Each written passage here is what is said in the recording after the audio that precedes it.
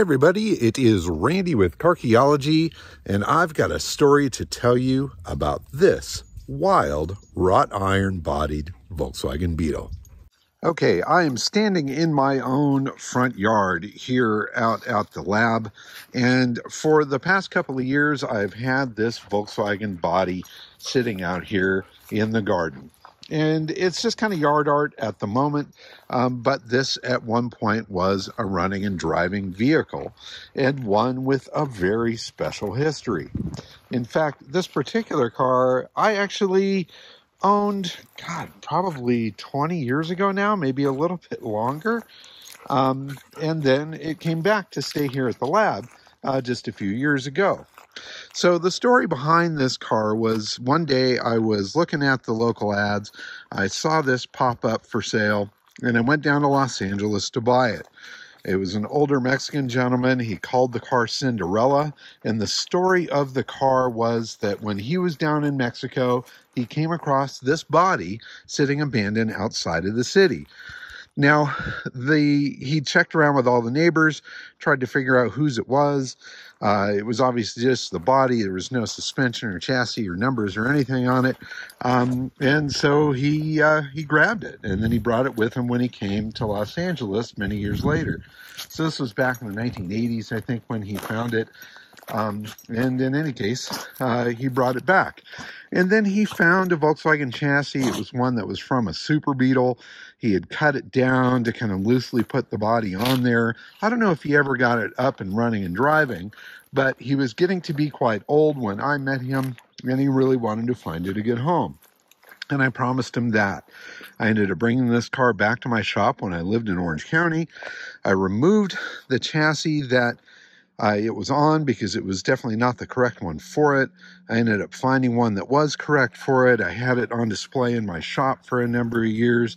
And then when we moved from Orange County out to the countryside here, I was trying to get rid of some stuff. And so I sold this to a friend of mine named Scott that runs a place called Karmann Ghia Parts and Restoration or Airhead Parts up in Ventura, California. And Scott took it, he put it up on one of the shelves in his shop. Uh, it was there for many years, entertaining customers and himself. And then when he was moving shop and selling off some stuff, he said he was going to put this up for sale and I asked him if we could do something together on it, and that sounded like a good idea. So this was maybe a few years ago or so. I brought this thing back uh, to my shop here. The plan was to put it on a chassis, get it up and running and driving, and then we had all sorts of crazy stuff happen, COVID and so on and so forth, and it's been sitting here for well just the past few years. Now, I had always thought I would talk to Scott about buying it from him and then maybe building it, um, but somebody beat me to the punch, and a gentleman that uh, is that expressed interest in this years ago was Scott. In fact, even tried to buy it, even negotiated to buy it um, from him. Uh, stepped up, got in touch with Scott, and struck a deal on it. And I've been informed just a few days ago that the car is going to be picked up and it's going to go off to Europe. Now, it's kind of bittersweet to see it leave because it's been really fun to have it out here in the yard. But really looking at the way all of it went down, it spent some time here. It came back to me to hang out for a bit, but really it's Scott's car to do it with as he pleases. And Patrick, who is the new owner, has expressed extreme interest in it and has been very consistent over the past few years in trying to get it. And he finally struck that deal. So it's going to get picked up here and moved out of the yard shortly. But before that happens, I wanted to do a video on it and tell you the story of the wrought iron Volkswagen bugs. So, there are quite a few of these that are out there in the world. There's a whole variety of different ones out there, but the most prolific builder of this sort of vehicle was a gentleman by the name of Raphael Prieto um, Esparza. And Raphael came from a long line of blacksmiths down in Mexico. Uh, he would do wrought iron work and things like that. He worked at a Volkswagen parts place uh, in Mexico City uh, back in the 1960s. And at one point, his boss asked him to build a wrought iron beetle shape to put up on the roof of the building as an advertisement for the shop. And he did that. And it was pretty well received. Everyone really liked that. It was something that uh, brought some charm to the neighborhood and caught a lot of attention. It also caught the attention of some people that work for Volkswagen at the Puebla factory. Now, the at this time, uh, this is in the late 1960s, and the Olympics were coming up to be in Mexico City in 1968. And Volkswagen uh, approached Raphael and asked him to build two cars uh, that were running and driving vehicles that they could display at the Olympic Games in 1968. And Raphael did that.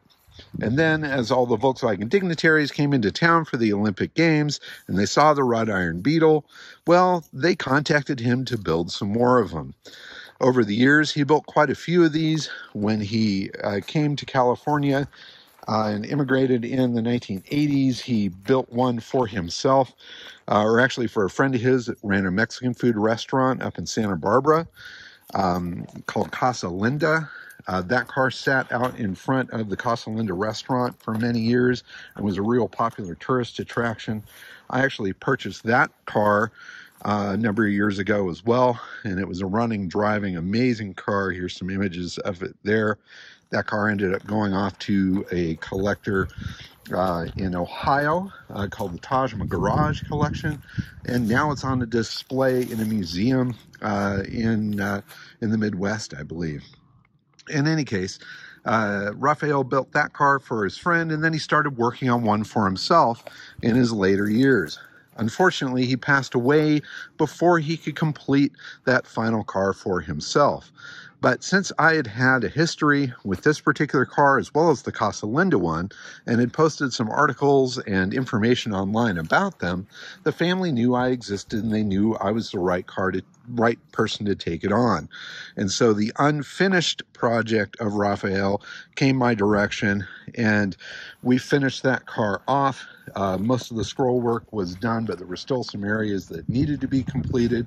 And my brother, who happens to be a metal fabricator and artist of his own right, this sculpture back behind here is one of his works. He took it on to finish all of the uh, spots that were unfinished on Raphael's final car.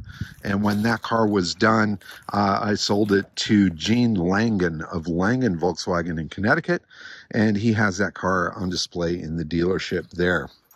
So, believe it or not, I've had three of Raphael's wrought iron beetles in my possession over the years, which is really totally insane because all told, we figure there was about 28 of them, perhaps total, somewhere right around there. And uh, several of them are still in Volkswagen's hands. There's one at the museum in Wolfsburg.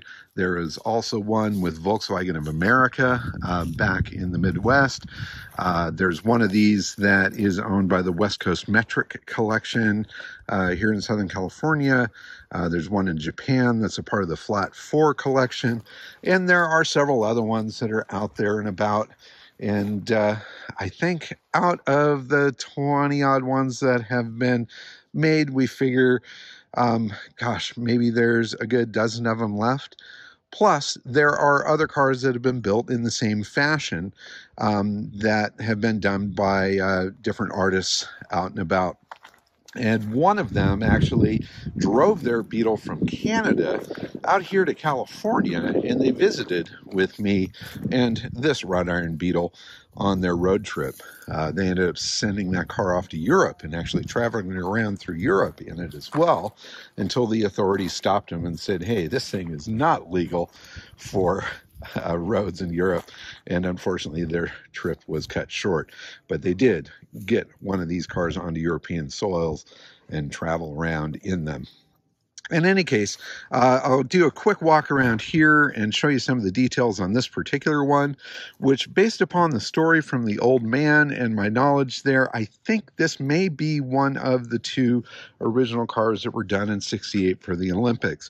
But unfortunately, I've got no proof of that, and I've not been able to find any actual photos of that car uh, or of either one of those cars at the Olympic Games. So uh, hopefully something like that will pop up. It does seem like every single one of these that was built had some unique qualities to it as far as the scroll work and things like that. Uh, this one being an early one done, it's a very open design. A lot of uh, negative space there. It's very lightweight. Uh, the door handles are cool. The doors do open. There is a bit of a dashboard there. Uh, the hood, the deck lid, those open as well. Um, really nice little minimal latches there. Uh, and this is something that'll set just onto a regular Volkswagen chassis. And Patrick, the uh, new owner of this one, has already purchased one of those in Europe and is starting the restoration of that. And when this car lands over there, this body lands over there, my guess is he will waste no time in making this a roadworthy car. So there you go, wrought iron Volkswagen Beetle. A long visit for this particular one here at the lab. A revisit for me personally because I owned this thing some number of years ago. And a really fun story to share with you folks as well as the VW scene out there in the world. The wrought iron bug is certainly one of the most unique artistic creations ever done on a Volkswagen chassis. And it still blows me away that I've had three different ones of these enter my life. But there you go. That's Carchaeology history on wheels, even though there's really no wheels under this one yet. I'm sure there will be at some point. Thanks so much for watching. Keep on digging them up and driving them. Bye-bye.